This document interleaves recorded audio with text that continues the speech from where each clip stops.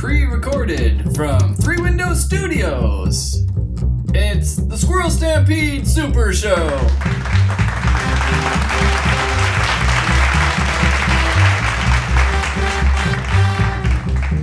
On today's show, monologue by Dan.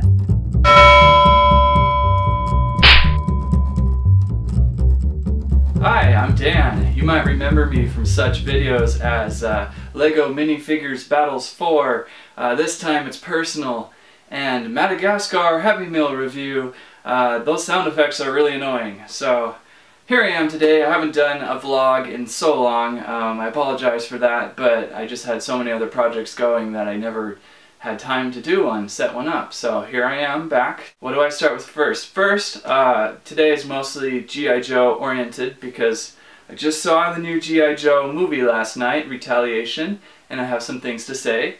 And uh, all positive, good, good things to say.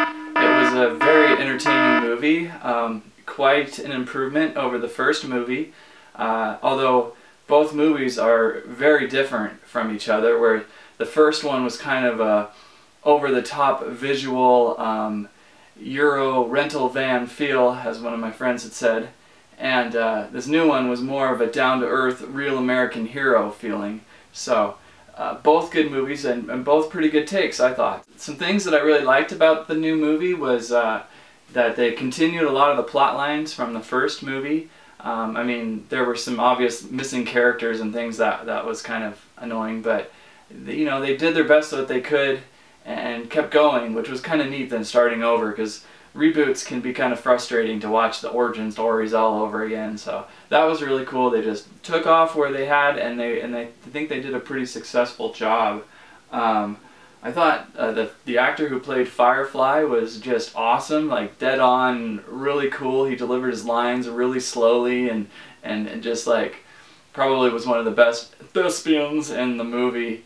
Um, I really enjoyed his his, uh, his take. Um, oh, a couple other things I thought in the movie were great. Uh, the jail warden or whatever his I can't remember who his name was, but he was played by a pretty funny character, and it's just the classic jail warden who's just like looking at the bad guys in, in the cell and just like, what are you gonna do about it? Ah, ah, ah. And then you know he's gonna get killed because the, you know it's just enraging them inside their cell. So let's look at some of the toys and. Uh, as you can see, I uh, already ranted about the toys in this unreleased clip from last year, and uh, you, it might be kind of funny to see. So let's take a look at that really quick and see what I have to say.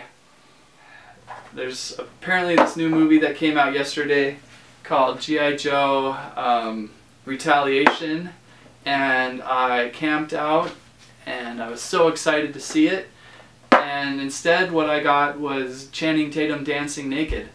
And I'm sitting there going, this is not G.I. Joe. What is going on? So I got home and I read up and it turns out G.I. Joe has now been postponed until March, which is a big bummer because I was waiting all this last year for it.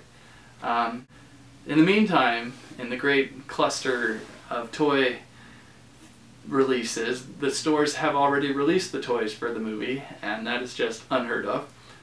What's funny about Roadblock here is I think this is the first time in the history of toys that the figure is actually less built than the actor.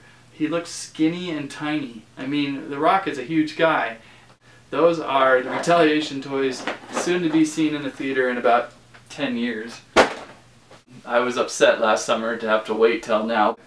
Um, like I had um, from last summer, here is a uh, roadblock figure by The Rock. Um, and this figure actually wasn't that great. I mean, it's actually kind of styled in um, the original roadblock block look. Uh, tank top, real, real gritty, ready to fight, um, tough, and uh, actually I wasn't that great. This wasn't the most best likeliness of The Rock. So just recently some of the newer figures have started popping up finally. And this, this Rock is way more um, way more accurate in how he looks. It's the uh, Battle Kata roadblock from uh, his years with Snake Eyes. In the movie there was a ton of Red Ninjas, which is pretty classic. Here's a um, classic reproduction of a Red Ninja and uh, the new Red Ninja. A lot of zipline stuff and you know, I haven't got to it. I wanted to do some zipline stuff down the stairs, but that takes a lot of setup, so I'm just going to show some of these figures and, and talk about them. But some great Red Ninja scenes in the movie. Uh, a highlight for me was when uh, they were zipping down the mountains and one of the Red Ninjas hits the mountain peak and gets stuck and then you know you're like oh he's okay and then the next Red Ninja comes by or something and knocks him off and he goes flipping down the mountain so that was that was pretty funny and really entertaining. Um, Cobra Commander is back in this movie and uh, he is this this figure isn't really how he looks in the movie. He's a lot he's black. He's just kind of got this leather um, jacket. You know, I think they're still really working on how to make Cobra Commander look cool on screen. His helmet looked great, but his costume still is missing something. Maybe just the Cobra symbol, something like that. I like the blue Cobra Commander figure that's been out. There's a black figure as well.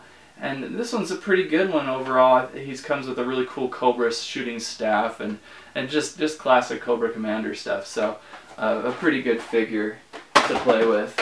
Um, there's a Snake Eyes figure, and uh, you know this is from last summer too. I think it was one of the first issue Snake Eyes, and I believe there's a couple more that look a little better.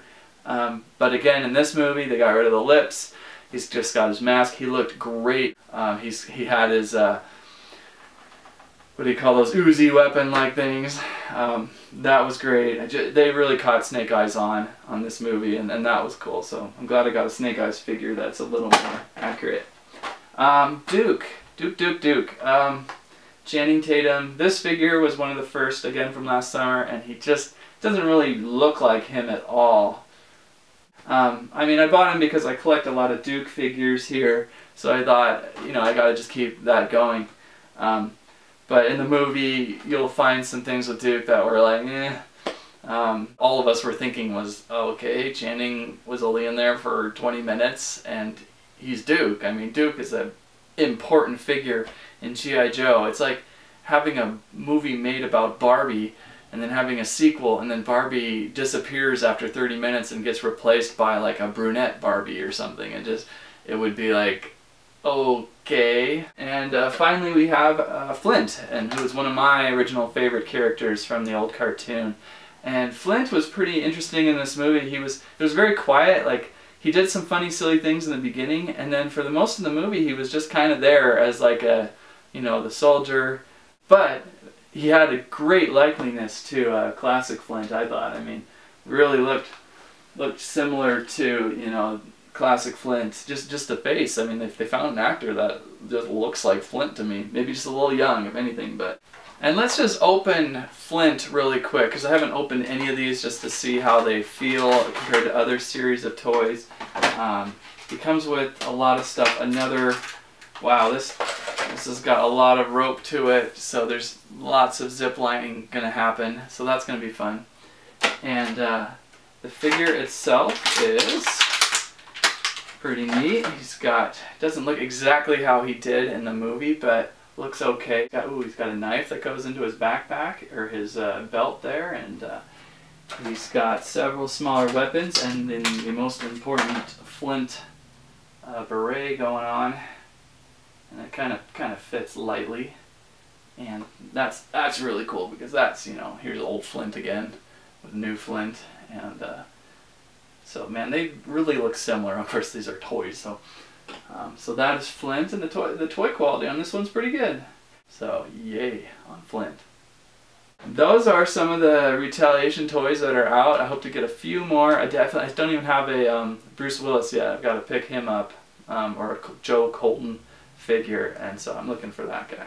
So that's pretty much what I wanted to say with my rambling uh, review of the movie. Hope I didn't spoil too much for you. Um, and uh, try to bring back a few more uh, vlogs now. Uh, that is my story. Thank you for watching, and I'll see you next time.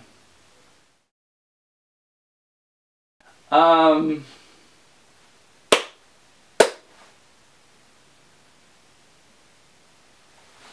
You got,